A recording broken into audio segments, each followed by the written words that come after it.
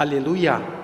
Cristo è risorto. Carissimi confratelli, carissimi fratelli del rinnovamento dello Spirito, con questo augurio pasquale vorrei abbracciare voi tutti presenti in questi giorni a Rimini e vorrei esprimere la mia vicinanza per quello che voi siete, per la Chiesa di Cristo in questo mondo per quello che voi rappresentate anche per la Chiesa di Cristo in Moldavia.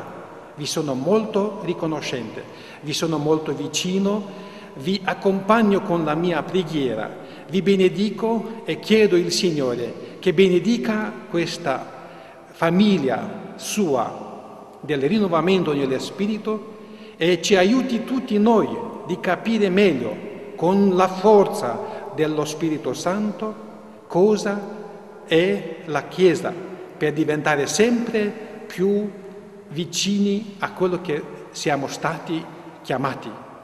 Grazie per tutto quanto avete fatto. Andiamo avanti insieme. Alleluia.